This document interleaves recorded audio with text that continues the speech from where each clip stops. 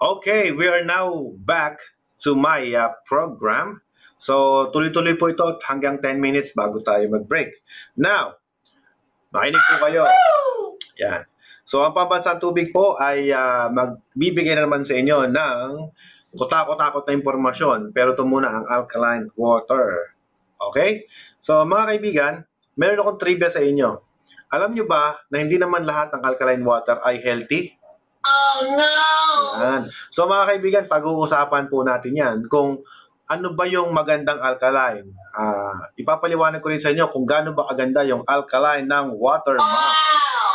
Yan. Sobrang ganda niyan. Wow! Yes, mga kaibigan. So, hindi ko na papatagalin dahil 10-minute segment lang po ito. Punta na po tayo doon sa ah, topic natin ngayon. Okay. Sige po, ito po nga yung chart ko ngayon sa likod. Yan po ay iba't ibang label o brand ng tubig na nabibili ngayon sa merkado. Ang tanong, yan po ba lahat na alkaline na yan ay healthy or hindi lahat? Oh no! Yun. So mga kaibigan, kailangan nyo pong ah, i-explain ko po sa inyo lahat yung mga tinatawag nating pH. Okay, mga kaibigan, hindi lahat ng mataas ang pH ay safe. O sabihin natin ay maganda sa kalusugan. Okay? Hindi po lahat. Oh no! Kapag po sinabi nating ah, pH, ang ibig sabihin po yon sa alkalinity is potential hydrogen. Okay. Before that, para maintindihan niyo po yan, kailangan kong i-discuss sa inyo yung tinatawag nating pH chart. Punta po muna tayo sa pH chart. So, ito po yung pH chart na tinatawag. Yan. Andali po ah. Okay. So, since ito po ang pH chart natin, bawat machine po na nakandyan sa ibaba, yan po, yan po ay Watermax machine. At lahat po ng tubig na sinasabi natin, may katumbas po yan na tinatawag natin mga minerals or nutrients na nandyan ngayon sa taas. Okay? So, paliliwanag ko na po sa inyo kung ano po ba tinatawag nating alkaline water. Yung alkaline water po, dapat nag-range po siya ng 7.5 pataas. So, sa chart natin, mga kaibigan, ito po yung tinatawag natin nandito sa level na to. Yan. 7.5. Yan. Dito po. So, from here, sa gitna ng to, yan. Ito. 7.5 and up. Yun po yung tinatawag nating alkaline water. Pagka 7.4 and below, yun naman po ang acid water. Ay, sorry, nakalimutan ko sabihin. Yung 7 po pala ay neutral water. So, ibig sabihin, 6 and below, that considered as, tinatawag natin na, acid water. So, meron po tayo kasi neutral water, yung mga tinatawag na tap water. Yan, yung mga tap water na yan. So, yung mga nakukuha commonly sa mga poso. Ngayon, kapag nadaan po yan sa mga alkaline filters, nagiging alkaline siya. Yes, ganun po yon. Ngayon, ganito po. Para maintindihan niyo po, ang sinasabi ko po sa inyo. Kanina sinabi ko, hindi lahat ng alkaline water ay safe. Oh no! Po, hindi po lahat. Oh no! Yes. Ngayon po, bakit po ba nagiging safe ang alkaline water o mas nagiging healthy? Ano po ba itong uh, nagbibigay ng healthy water sa alkaline water? Okay. Eto na po. So, lahat po yan ay binigyan na po natin ng mga pH level chart. So, according po dito, yan, sa taas, I will tell the brand, eh, Aquafina, 5.3 ang kanyang pH level. May, Oh no! medyo acid po siya. At ang ORP, kapag sinabi natin ORP, stands for Oxidation Reduction Potential. E positive. Oh no! Mga kaibigan, kapag ang ORP po ay mataas, pag ganyan, yung ito, positive, yan po ay pangit ang epekto sa kalusugan. Oh no! Yun. Kapag negative AR, o, ORP, nagkakaroon po yan ng magandang epekto sa ating kalusugan. Wow! Yes. Ngayon po, tingnan natin yung iba pang mga brands ng tubig na binebenta sa market. So, yeah. Uh, hindi, ko, hindi ko na iisa-isahin kasi madami po sila. Ngayon, according po sa chart nating nakuha, kahit pala si Mount Fuji na ang mahal-mahal ng tubig, eh, hindi po siya ganun ka-healthy. Oh no! Ouch! And, uh, pero, mayroon akong good news. Ito palang isang tubig na to, real alkalized water, meron po siyang 7.9 pH na nakalagay po dyan sa ating background. At kanya pong uh, ORP ay Wow! negative 25. So, pag sinabi natin negative 25, eh talaga pong ah, healthy water yan. Pag sinabi natin uh, meron siyang negative oxidation reduction potential, ibig sabihin, nagbibigay siya ng magandang resulta sa ating kalusugan. Opo. Ngayon po mga kaibigan, ano pa ba yung ibang mga nandyan? Yan. So lahat po, nakikita niyo po, lahat po yan ay alkaline water na binebenta. Pero nakita niyo po ang kanyang positive ORP. Pag sinabing positive ORP, hindi po yon maganda sa kalusugan. Oh no! Pero good news, actually, merong mga kumpanya na nakapagbibigay po ng magandang ORP o negative ORP. Sample yan, si Kangen Water, lalo na si Watermax Water. Nakakapagbigay po yan ng 745 ORP. Wow! Yan, ang taas. Opo, pero mahataas din yung machine niya. Yung Kangen Water ay nag, nag ah, ang presyo medyo medyo talagang pangmayaman yan. 280,000 yung isang maliit na ganyan. Yan. Yan. Ito, ito, ito, ito.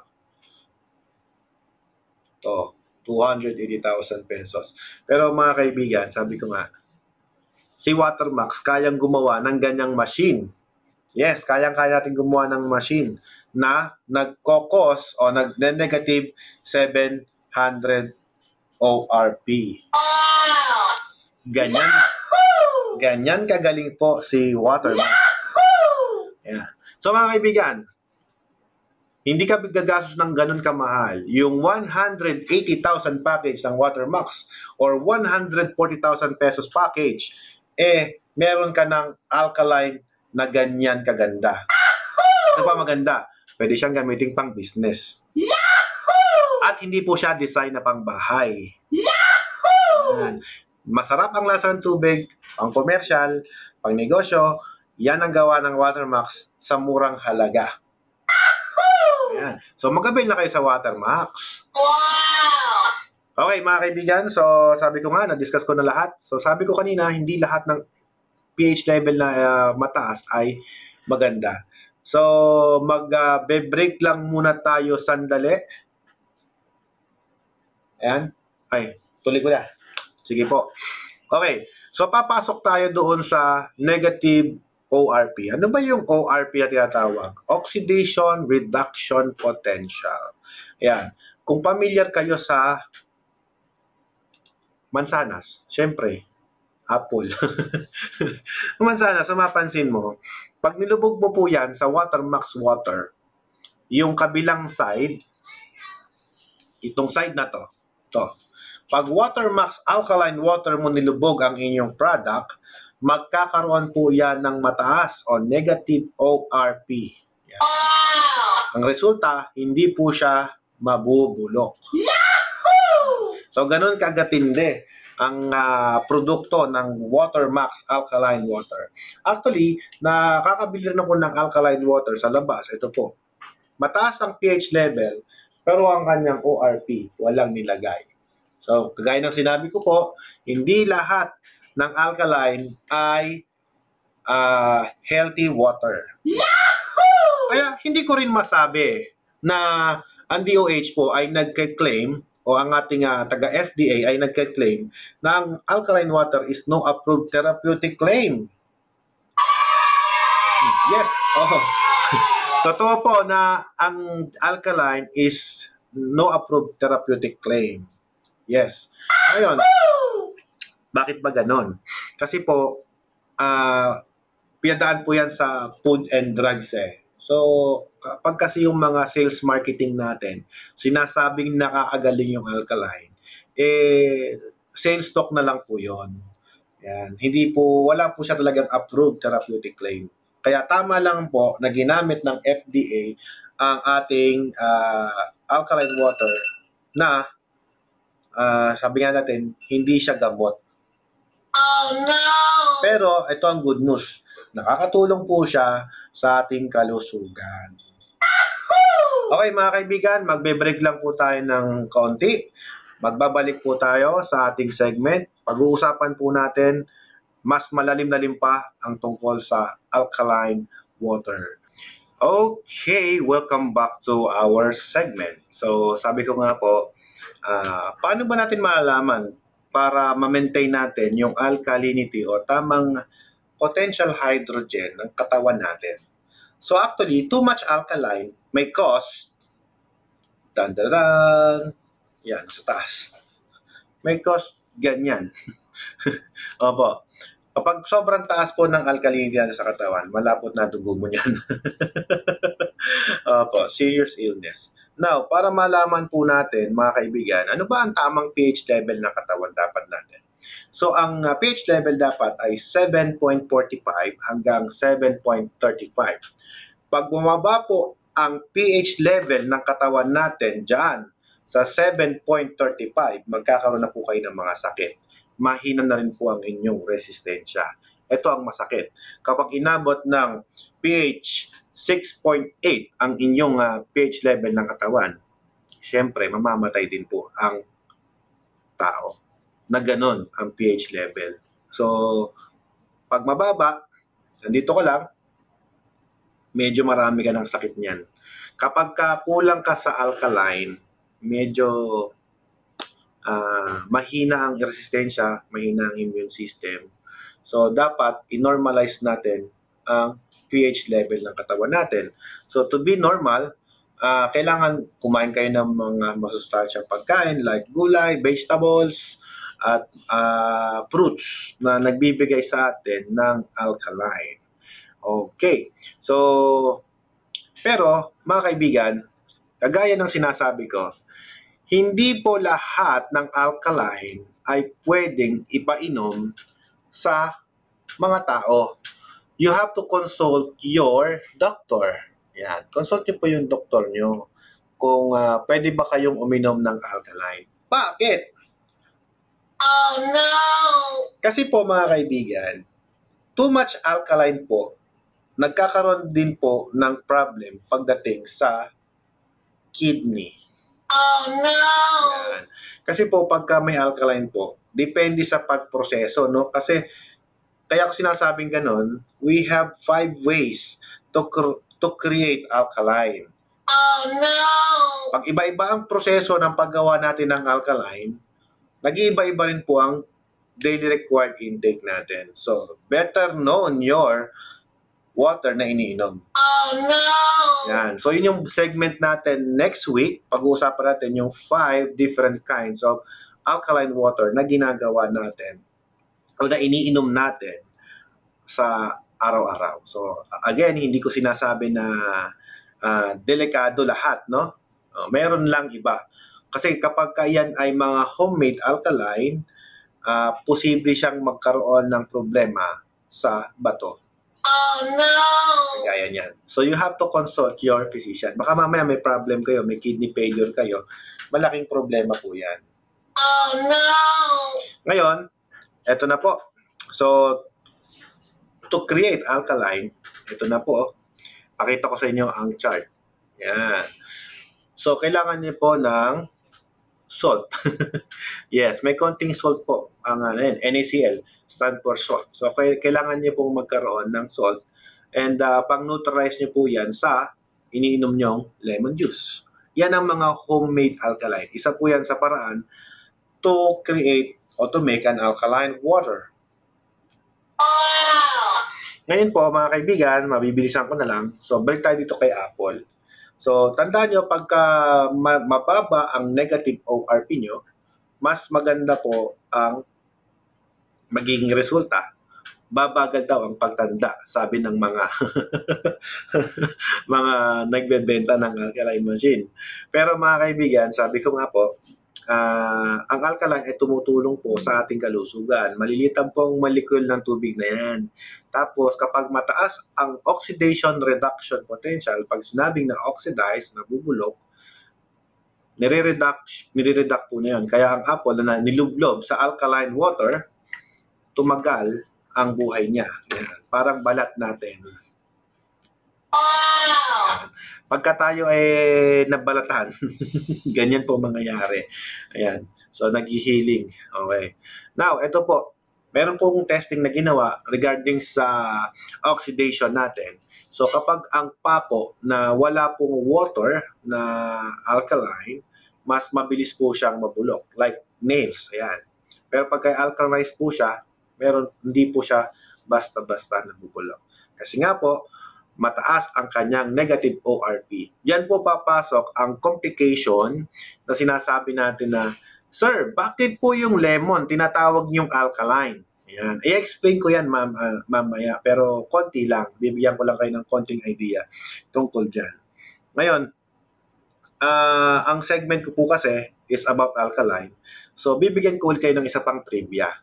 So, according to FDA, ito na po ang kanilang sulat. Matagal na po yung sulat na yan. Natanggap po naming mga technician o manufacturer ng water refilling stations. Natanggap po namin noong January 27, 2014. Oh no! FDA advisory. So, galing po yan sa kanila, o Republic of the Philippines. Ayan po ang sulat. Oh no! Yan. Ah, consumer warning against false, ayan, no? Fake news daw po. O, nagkakaroon kasi ng misleading claim yung mga seller. Ayan. So, nagkakaroon ng mga misleading sales. Sinasabi po kasi nila na ang alkaline ay nakakagamot, which is technically wrong. Hindi po dapat ganun. It help, but hindi natin kine-claim na yan ay gamot. Yan, alkaline water and oxygenated water. Magkamukha po ba yan? Pareho lang po yan na may potential hydrogen or may negative ORP. Kaya lang po, ah, sabi nga natin, hindi lahat Oh no! So according to FDA po, ayan po, binebenta sa mga malls and uh, mga strategic place, ayan po yung kanilang mensahe sa amin. Hindi ko na po babasahin sa inyo lahat yan kasi mauubos po yung aking oras. Paki-screenshot nyo na lang po kung gusto nyo po. Ayan. Yan po yung kanila. Tsaka binanggitin po nila na ang mga alkaline water ay wala din daw pong Certificate of Product Registration. Oh no! Okay. Tapos yung mga ginagamit po kasi sa mga pag-apply po niyan, kailangan ah, i- irehistro sa product certificate of product registration related device. Ay, mali na pindot ko. Ito. Oh no!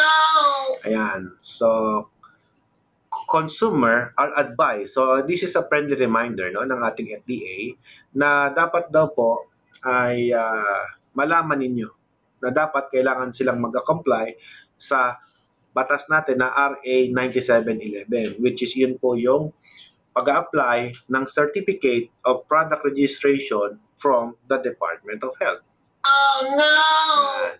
Okay, so ayan po yung kanilang website. Pwede na po i-confirm kung fake news po yung sinasabi ko. Pero syempre, lahat po dito, totoo sinasabi, so bawal po ang fake news. Oh no!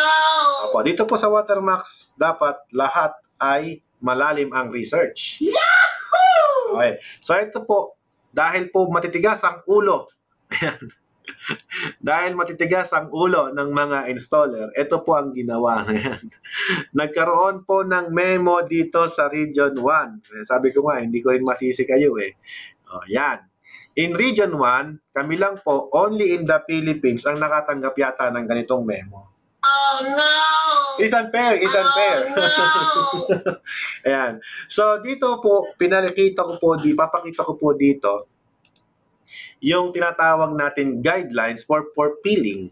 Ayan. Permit application of water refilling stations. Ayan. So, ito po yung mga unang mga hakbang para makapag-apply po kayo ng mayor's permit. So, ayan. Konti lang naman po ang kanilang uh, dinidemand na requirements. Isa-isahin po natin. Pwede tuloy-tuloy ko ito. Ayan. Duty accomplish an application form uh, information asked must be filled on officially signatured by the owner. Especially po yung mga requirements supporting documents. Ano ba yung mga requirements supporting documents natin? Yan, sabi natin, nakalagay dyan, drinking water site clearance report. Yan po yung nating mga certificate o analysis. Yan. Na actually, bago kayo makakuha niyan, kailangan niyo po ng mga manufacturer's design and whatsoever. So lahat po yan ay mga galing sa supplier, si A at si B. Yan. So, kung si supplier nyo po ay kulang ng pagpo-provide ng mga ganyan, mahihirapan kayong kumuha ng permit. Yung number two, si supplier po lahat ang gagalaw dyan. Opo. Ang ah, civil engineer report, nasa inyo pong pag-uusap yan kung si supplier po ay sasagutin yan o hindi. Pero dito sa Watermax, meron po kaming nire-recommendang civil engineer o ay civil engineer, sanitary engineer na pwedeng gumawa niyan para sa inyo. Wow! Ayan. Dito sa Watermax, di namin kayo papahirapan. Wow! Ayan. Pati drawing layout plan, bibigyan namin kayo. Ayan. So ito ay sulat galing po sa ating munisipyo. Hindi ko po ito gawa-gawa, ha? So, ito na ang matindi. Ang pinaka nakakalungkot na part. Oh no! Nakakalungkot po dahil Oh no! special note. Pakibasa po. Basa. Sabi, production of alkaline water is not allowed virtue of FDA memorandum such as inclusion of the same in overall plant structural of refilling station should be automatically disqualified the application. Oh no! Naku po. Oh no! nakakalungkot. Pero parang nagkamali yata ng research ah. Totoo yun, nagkamali. Kamali ng research. Apo, ito. Dapat po, binawan niyo po yan sa mga volcanic area. Pero according sa kanila po, dahil daw sa FDA memorandum, malinaw naman po ang binanggit, no? Mga taga Region 1, ha? Ito, pay attention, ha? Makinig kayo sa mga taga Region 1 ha.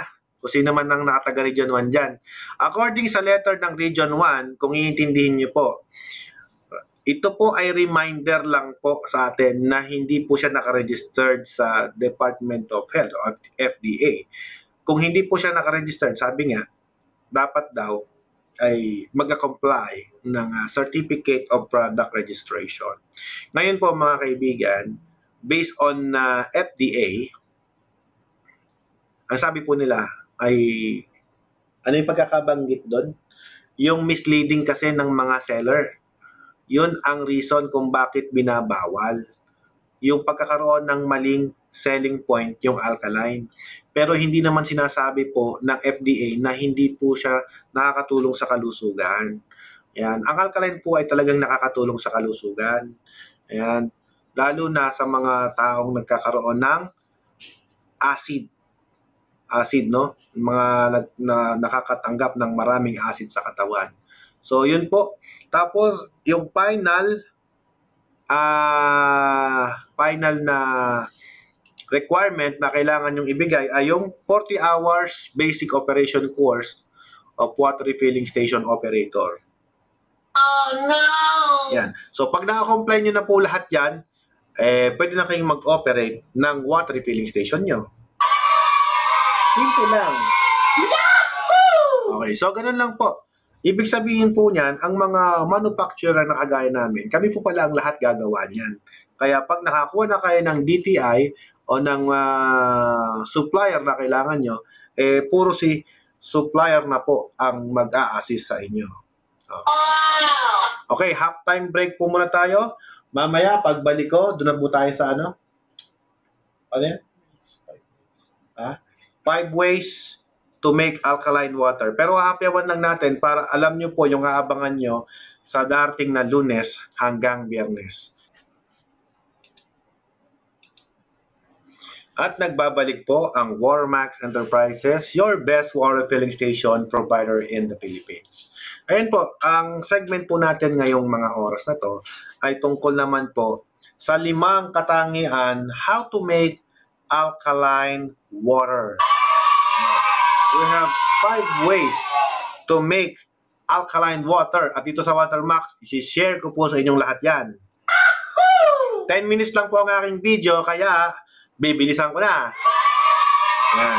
So, pero bago ko simulan yan, tandaan niyo po ah, kung sino yung mananalo sa rolling roulette, mamaya, paikutin ko po yan sa alas 6. Kung sino po yung mabubunot, dapat magsabi ng present o mag-comment dyan. Pag hindi po nag-comment dyan, paikutin ko po ulit yon siya po yung mananalo. Kung sino yung magko- magko-comment ng present dyan. Okay po ba yon?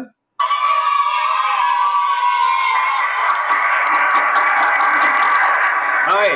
So mga kaibigan, ito po ang unang paggawa ng alkaline water. Una, nauso po yan yung pH drop o yung tinatawag nating pH booster. Yan. Maraming klasing brand yan na nabibili nyo po online. Marami po yan. Ngayon po, yan po yung pinapatak natin. Actually, nung last segment ko, in-explain ko sa inyo yung paggawa ng mineral water. Wow! At yan po yung mga binanggit kong chemical mixture o yung mga ah, mga mineral mixture na nakakagawa ng alkaline water. Yan po yon. Kaya kung nanood ka ng live ko kahapon, sigurado alam mo nang gumawa ng homemade alkaline water. Wow! Hindi ka nabibili ng ganyang pH drop. Kasi kung absent ka kahapon, sigurado hindi mo alam gumawa ng ganyan. So, yan, tatalakayin natin yan sa next segment natin. Pero re-recap ko lang po muna kayo. Ito po yung matinding controversial regarding po sa lemon. Oh no! Ito kasi ang controversial dyan. Bakit sinasabi niyong alkaline water ang lemon? Eh, acid nga yan eh. Oh no! Baka naman mali tinuturo mo, Watermax. Oh no! Ayan. So, i-explain ko sa inyo bakit nagiging alkaline ang lemon. Pero, next week yan. So, yan po yung pangalawa na para makagawa ka ng natural alkaline water. Okay? So, mga kaibigan, ito na po yung ating pangatlo. Ayan. So, kung nakikita nyo po yung nasa picture, meron po siyang tinatawag na ozonator. Yan. Ang ozonator po mga kaibigan ay kilala na ginagamit po ng ating mga ah, pang air purifier. Yan. Para sa inyong kaalaman, pag sinabing ozone, syempre, tubig yun. Ano yun? Hangin yun. Hindi yan yung hangin sa puwet ha. Yan po yung hangin na nagfi-filter sa ating kapaligiran. Okay. So, pag sinabi nating ozonator, nakita niyo naman po yung nasa baso, pinabubula po niya yung tubig. So, while doing that, actually, creates alkaline water or negative ORP. Yan. So, hindi naman pataasan ng pH level ang usapan dito eh. Ito po, dapat mala- malaman natin na 7.5 is alkaline water na po yun. Ito po ang good news. Kapag ganyan po ang sistema, nagkakaroon po siya ng mataas na negative oxidation potential. So, pangatlo po yan. Pero, sa next week, dadaysekin natin yan. Huhubar natin kung paano, paano bubuuin yung ganyang alkaline machine. And then, ito naman po yung pang-apat. No? Pang-apat na paraan how to make alkaline water. So, marami po yan. Ang tawag po dyan is alkaline ah, ionizer machine. So, yung ionizer po, actually, yan yung tinatawag natin na ang wastewater nan baliktad. Yung yung parang mas malis o yung pure water, tatapunin niya kasi acid yun. Ang kukunin po niya yung mas mataas ang ang ah, pH level. Kapag tinidies mo yan, mas mababa ang tumatapong tubig compare doon sa nakukuha. Ganun po, baliktad sa reverse osmosis. So commonly known, yan marami pong ah, brand ng ganyan ang naglipa na sa market. Ito matindi dyan. Dadaysigay natin yan sa susunod na segment natin. Papakita ko sa inyo kung paano gumagana o paano ginagawa yung mga yan. Okay. So, yan yung pang-apat. Ito na po yung panglima. Yan. So, yung panglima natin, ha, may oras pa ba ako? Ha? Ilan? Yan. So, yung panglima po natin, mga kaibigan, yan po yung tinatawag nating mga tourmaline balls. Alright. So, yan po ay iba't ibang paraan how to make an alkaline water. Actually, pwede nyo rin itong gamitin sa pie water eh. Pero ibang segment na naman yung sa pie water.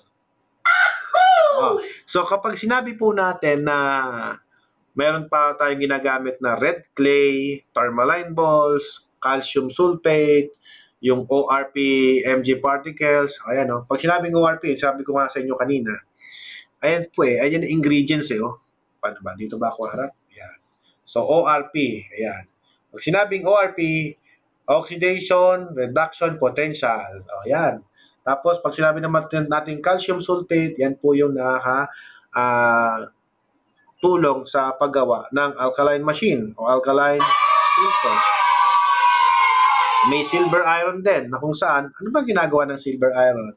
Iisa-isahin natin yan. Pero bigyan ko na kayo ng konting recap. Silver iron po, yan po yung nagpapalit ng molecule ng tubig. Ayun po ang kanilang mga trabaho. Tapos yung naman pong uh, my pan stone, yan po, nakakatulong naman po yan. Meron po yan healing uh, process na nangyayari kapag iniinom nyo po yung tubig na meron dyan. So actually, pwede nyo pong ilagay sa ganito, sa loob. Para magkaroon po siya ng negative ORP. So yan po yung limang paraan how to create alkaline water. So bukas, ay hindi bukas, sa lunes, iisa-isahin natin yan kung ano yung mga paraan yan.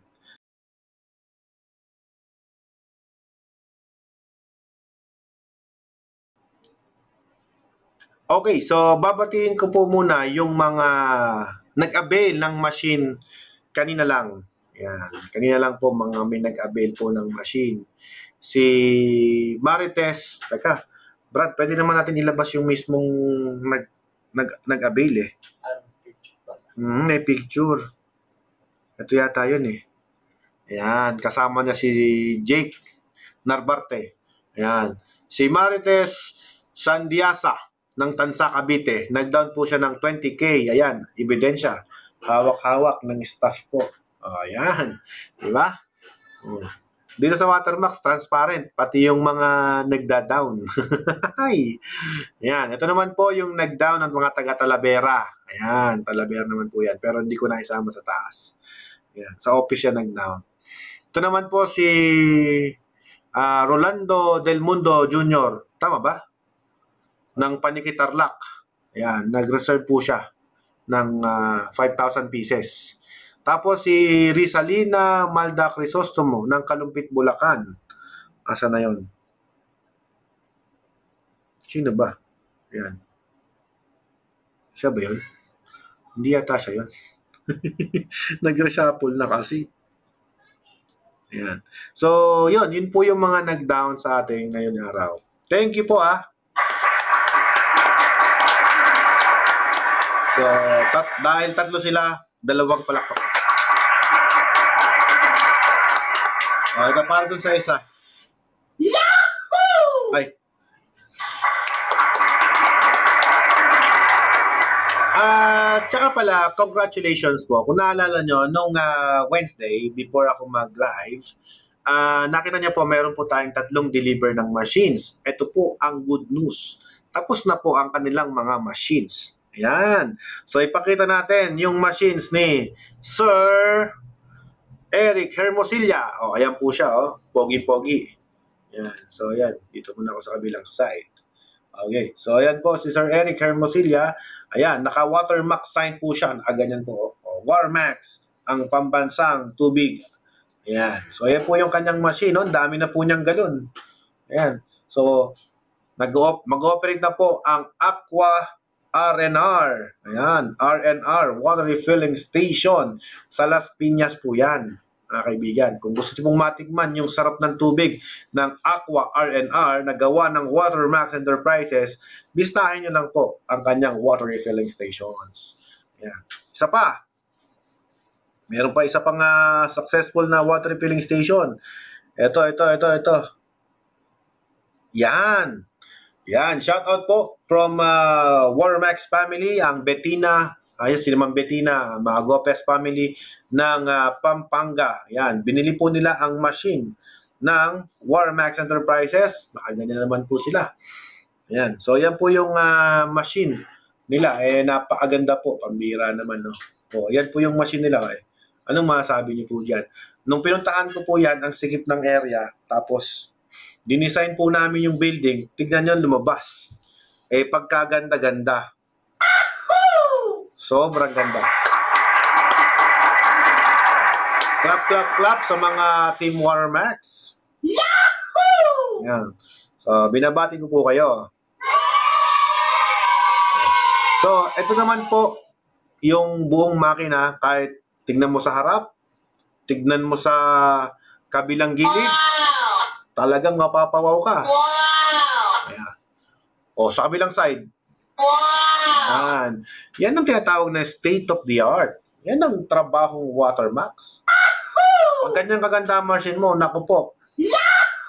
Ewan ko na lang kapag hindi pa napasarap ang tubig. Quadruple membrane, eto pa matindi dyan. Sa maniwala kahit hindi, zero ang TDS niyan. Baka di ka naniniwala. Pakita ko sa inyo.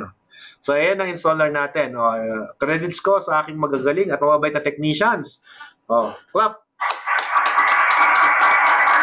Ayan, si Jerry Blanco at si Jan Nakaba. So, sila po yung ah, tumanggap ng ah, ah, project na yan. Alright. Palakpak. Okay. So, pakita ko po sa inyo mga kaibigan, ito po yung kanyang TDS. Ayan, no? Oh, ayan yung video. Panoorin niyo po yung video. Okay? May video po yan. Okay. Pakita ko sa inyo.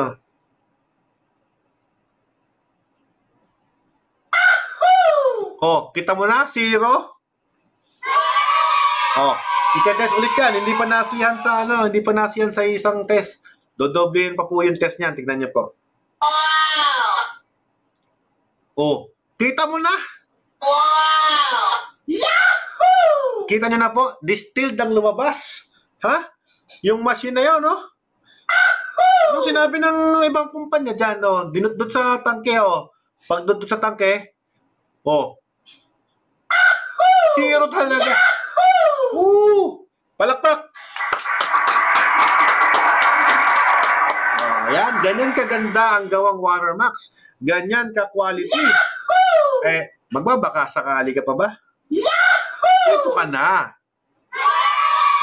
Okay. So, yun po yung pangalawa. Okay. Ito yung pangatlo. Oh no! Mali na pindot ko. Wow! yun pala yun. Mga kaibigan pambira. Tignan nyo kung gaano aganda yung machine na yan. Wow! Pasensya na kayo, medyo makalat sa kabilang side kasi hindi pa, hindi pa tapos. Ginagawa pa lang po. Wow! Yan. So, nakita niyo po kung gaano kaganda. At maniwala kayo sa hindi, yan po ay sa Kalapan, Mindoro. Opo, sa Kalapan, Mindoro po yan ginagawa pag may, may-ari ni John, John ah, Mark Flores. Okay. Ay, napakaganda po. Palakpakan natin yung gawa. Diba? Eh, napakaganda. Eh, baka sabihin niyo po, sa harap lang maganda. Ah, baka iniisip nyo sa, sa harap lang maganda. Tignan natin sa kabilang side. Wow! Oh, pogi din yung technician. Wow! Oh, yan oh. Ganda ng machine. Tignan nyo, huwag yung technician tignan nyo. Baka makakuha ng taken na po yan. Taken na po yan. Wow! Yung machine po, tignan nyo, napakaganda, di ba? Naku po. Yan po ay Kalapan Mindoro. Ayan, oh. Napakaganda, di ba? So, sa kabilang side, kabilang side, at harap, Wow! yan na lang masasabi mo. Wow! Yan. Kaya kung may water refilling station na makakatabi yan, kaya kahit di ka na bumili ng galon, sir, sir, kasi yung mga galon ng kapitbahay mo, lilipat sa'yo. Oh no! Yun lang. Oh no! Eh, ayan, likod na po yan, eh, pagkaganda-ganda pa rin. Di ba? Oh. Doon pa lang po sa Watermax, may stainless steel water storage tank po yan na 304. Yan, nakalagay na rin po. Ayan ay super heavy duty tank. Alright. Wow! Talaga naman. So, ayan, no? Oh, ang linis. Wow! O, kung ako naman ang buyer ng tubig, bibili ako tubig, ay dyan talaga ako bibili. Di ba? Doon sa ganun kagandang machine. Di ba? Pareho din naman ng presyo. Diba? 25 pesos din naman eh. Yan. So mga kaibigan, ayan po yung gawa ng Watermax Enterprises sa loob ng tatlong araw. Nire-report ko po sa inyo mga kaibigan para makita nyo po na yan ay ganyan ka-quality. Wala. Distilled lang ang kinaya namin, mga kaibigan. Wala, yan lang eh. Yan ang sinabi ng Wilkins dyan. Hay! Hindi po yan failed. anyway, anyway. Uh, ano yung sunod na segment natin? Doon na po tayo sa roleta. Mukhang naubos ko na yung oras. Paikutin natin ng roleta kung sino po ang may share at uh, may uh, comment dyan na pambansang tubig. Ayan. Eh, subukan natin kung kayo po ay mananalo ng uh, 1,000 pesos ngayong araw. Ano po yung pinakahihintay nyo? Magbabalik lang po kami. Set lang po natin. Cut off na po. Cut off na yung mga comment section. Cut off na. So, after uh, my break, pagbalik ko, ang topic na po natin, hindi na po pala topic yon Hindi yung topic. Roleta na po tayo. Doon na po tayo. Magkapamigay po tayo ng ayuda. Ayan. Dito po sa Watermax, may ayuda. Wow! Sa Watermax, ayuda mo, sagot ko. Wow! Ayan. Yung 1,000 pesos, ipamimigay ulit natin ngayong araw. Okay? So, magbe-break lang po kami sandali at pagbalik po namin, ay bibigay na po namin kung sino yung mananalo ng 1,000 pieces. Yan. Break lang po muna. Break lang po muna makalipas ang ilang sandali. Ito po 5 minutes talaga kasi kukunin na namin yung mga naka nag, nag-like at nag-share doon sa ating share button.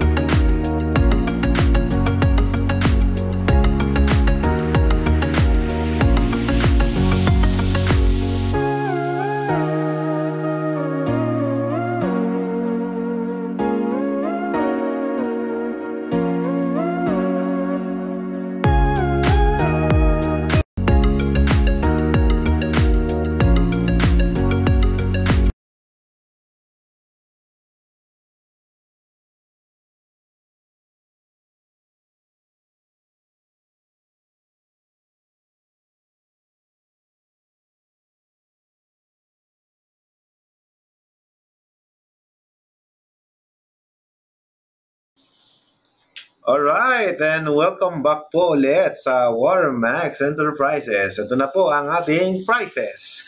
Ay, magka, magkakarayma. Parang pag sinabi mong, ito na po ang mga posibleng manalo ng mga prizes sa Watermax Enterprises. Parang iisaan tono ah. So, mga kaibigan, technically, meron po kaming binigay na rule sa inyo, pero yung iba hindi nakasunod, kaya wala dyan sa listahan. Oh no! So, pag hindi nakasunod sa policy ng ating mga palaro, eh, hindi po kayo malalagay dyan. Oh no! Yan. Pero pag sinunod nyo, everyone can join. So, kung nakikita niyo yung mga pangalan nyo dyan, kayo po yung may pag-asang manalo ng 1,000 pesos. Wow! Dito sa Watermax, manood ka lang, mananalo ka pa. Alright. Anyway, eto na. Dapat ba ano ulit? Paikutin ko siya ulit ng sample. Kailangan po ba may testing? Ah, hindi ko na mabasa yung comment, bro. Aw, Hindi po yan. hindi ko na mabasa yung comment. Eh, dito, dito, Yan dito. pa yan. Alright. So, ah present po kahit di ako kasali. Ay, ay! Buti pa si Sir TJ, kahit di daw kasali, present. Ito ba nasali? Dapat kasi ginawa niyo yung rules. Kasi kayo eh. Ayan. Pero don't worry. Kung ano, next ano po, sali pa rin kayo. Walang iwanan dito sa Watermax. Wow! Dito sa Watermax, nanalo ka na, natuto ka pa. So, sagot ko. Ayuda mo. Alright. Anyway, dapat data may sample palagi. Ano? So, gawin natin kaugalian yon. Yung ating ating ating uh, paikutin, ha? Just say present kung kayo po yung matapatan niyan. Alright. So, sige po, paikutin natin. Paano ba paikutin itong ruleta natin? Bago kasi, magrasa ba to? Magrasa. Ah, paikutin natin ha. Sample. Yan. So, sample lang ng ikot. Parang ano ah, parang bagong ayos yung aking ah, rolling ruleta. parang habang natagal, paganda ng paganda yung aking ruleta. Ayan. Ayan, ah, ayan. Maraming nagjo-join. So, wala eh. Late na yung iba eh. Ayan. Oy, i-shoutout ko po pala si Bernard Solamon. Mag-down po kami next month, Sir Alfred. Next week. Ay. Ay. Looking forward. Si Jelexer Alive de los Reyes daw ay natanggap na rin po niya ang kanyang cash prize. So yan, natanggap na po nila yung Nasa UAE po yan, pero nakita nyo naman, save law no natanggap marries. yung cash prize. Wow! Pinakatindi Watermax kahit nasa UAE ka, walang excuse. Matanggap mo ang cash prize mo. Wow! Ay! Okay, so, ayan. Sige po, ah, ito yung ano, testing. Testing to, di ba? Pre, testing. Oo. Sayang, nanalo sa ano si Christian. Hi! Okay, so, ito na, ito na, ito na. May testing pa ba tayo? Sa pa, sa last one. Sa last one, last testing. Last testing, last testing. Ating uh, wheel. Ayan, testing ulit. Ayan, so pinaikot po. Pinaikot, pinaikot. Sino kayo manalo? Ayan. Maraming salamat sa mga nagsishare, no? Sabi ko nga, this video is hindi lang po basta vlog. Ito po ay informative video. Dito sa Watermax, natuto ka na, nanalo ka pa. Wow! Yun. Ganun kami. Hay! Wow! Asan na ba yung baka mo? Nasilong mo na ba? Ay, baka, may... Papasok ko na yung baka. Ay, si Maris Mangilat, done for reservation. Yesterday, happy one. Palakpakan. Yan, sa mga nagre-reserve at nagda-down, thank you very much. Ina-acknowledge po namin kayo. Car VY. Ilan bang testing to? Tatlo? Tatlong testing ha? Carvey, ah, dumadami yung ating contestant. Ah, last testing, last testing ha? Last testing na to ha. Ito, last testing. Para makita nyo na walang daya dito sa Watermax. Eh, bira. Most trusted water filling station provider in the Philippines. Tapos, dadayain ka. Walang ganun. Bawal yon. Oh no! Pagka ikaw, nanloloko ng tao, ikaw ay sablay. Sablay ang mangyayari. Hi! Alright. Tingnan ko sino mananalo. Sabi ni Michael uh, Ga Michael Michael Gasalatan, sabi niya, ano daw ba criteria?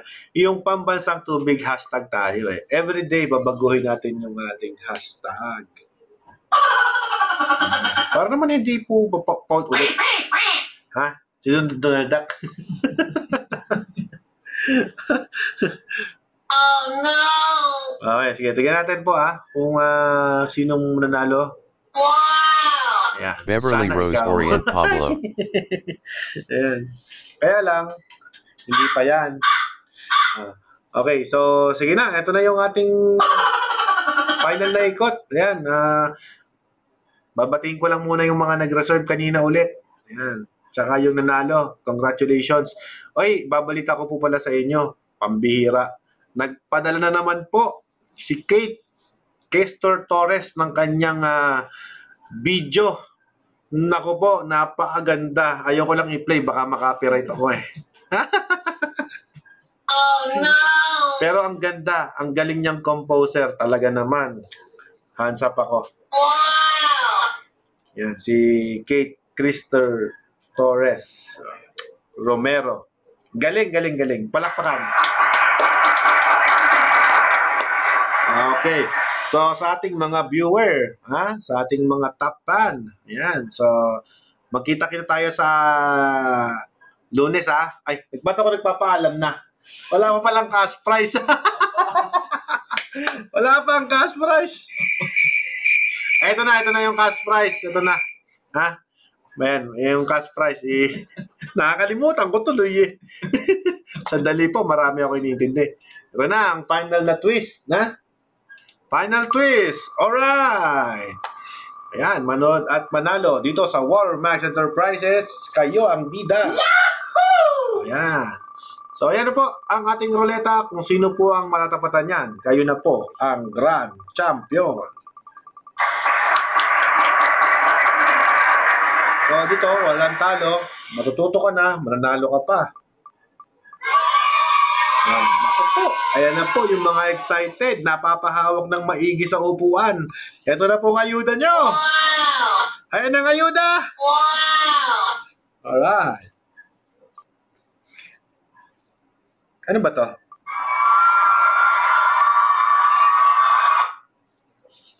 Concert. Concert. At ayan na. Ayan na. Tumapat na po. Tumapat na. At huminto na. Huminto na. Bernard O Solomon. yan. Si Bernard Solomon. Solomon. Nanalo ng 1,000 pesos. Pero hindi pa dyan natatapos ang lahat, mga kaibigan. Hihintayin po natin kung siya ay magse-save present. Pag hindi po siya nag-save present, disqualified yan. Ayan. Tingnan natin ha. Ah, kung nandyan po kayo, Sir Bernard Solomon, kayo po ang nanalo. Pero pag hindi po kayo nag-save present, paikutin po ulit namin to. Ay, present siya! Yun! Yun ang maganda sa Watermax. Congratulations! Congratulations po, Sir Bernard Solomon. Ayan, nanalo po kayo ng 5,000 pesos. Ayan. Ayan. Parang paiba-iba na nanalo talaga, ano? Ha? Talagang walang bias eh, ha? Paiba-iba na nanalo. Malay natin, iba naman yung mananalo next. Oo, di ba? So, dito sa Watermax, yan, may 1,000 pesos ka daily. Wow! Okay. So sa mga subscriber natin dyan, yung mga kapitbahay nyo, pakikalampag naman. Sabihin nyo, i-subscribe na rin po yung aking YouTube channel. At saka yung aking, yung aking Facebook page para mas marami po tayong matulungan. Pakishare naman po at pakisabi sa inyong mga kaibigan kasi pwede naman yan na marami kayong kaibigan. Mag-share at mag-share batch po kayo dyan. Di ba? Oh, Pang happy happy. pang pang happy happy lang. Ah, sa Watermax dito hindi kami madamot. Papamigay kami. Yung ano po pala, ah, yung ah, gumawa ng jingle. Ah, ang pinadala ko ng jingle pagkaganda-ganda eh. Ha? Eh thank you very much doon ha. Pero ano ah, ah, hindi ko muna ipe-play ngayon para ay. Ah, pero ipopost ko lang sa YouTube channel ko. Ah, pagka walang copyright 'yon, bibigyan kita ng 1,000 pieces! Ay, mali. So again, congratulations kay Bernard Solomon sa iyong ah, pagkakapanalo ng 1,000 pesos dito sa Watermax. Lahat panalo. Manatili po kayong manood at mag-subscribe sa aking YouTube. Okay? So hanggang doon lang po muna ang aking ah, ah, programa. Magkita-kita po tayo sa lunes. Ayan, pag-uusapan natin yung alkaline water. Mahaba kasing topic, mahabang segment. Hindi ko kayang i-discuss sa'yo lahat. So, yan. So, back to our uh, uh, enjoy your ano pala. Enjoy your uh, holiday. Okay? Happy Sunday everyone. Keep safe. At uh, COVID lang yan. Kayang-kaya ng Pinoy yan. Okay? Ang Pinoy matibay at maasahan. Parang Watermax. Gawang Pinoy. So, magkita-kita tayo sa sa Lunes, alas 5 hanggang alas 6 ng hapon upang ah, manalo din ng 1,000 at matuto. matuto ng ah, karagdagang kaalaman regarding sa water refilling station business. Bye-bye!